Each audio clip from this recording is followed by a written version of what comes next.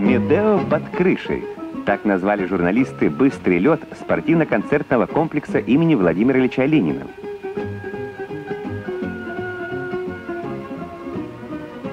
Здесь провели большой сбор представителей зимнего вида спорта конькобежцы. Лучшие ледовые скороходы съехались в Ленинград на свой первый летний турнир –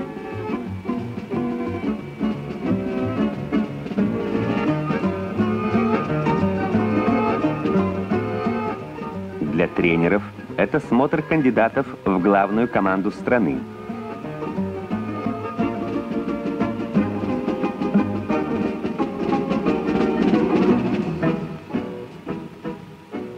Готовится к забегу олимпийский чемпион ленинградец Евгений Куликов.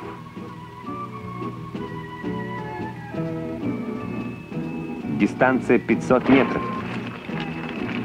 На этот раз Куликов показывает второй результат, проиграв 0,2 секунды Владимиру Козлову из Усть-Каменогорска.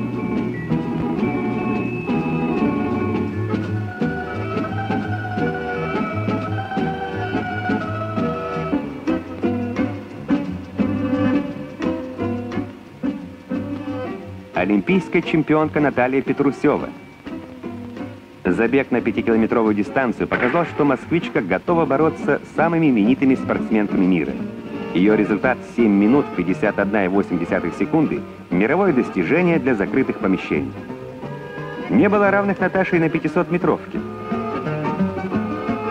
Впереди новые ответственные старты чемпионатов Европы и мира –